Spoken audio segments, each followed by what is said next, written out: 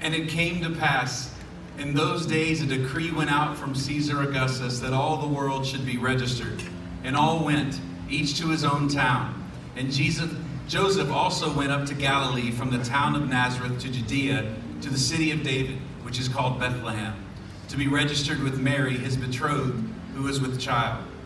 And while they were there, the time came for her to give birth.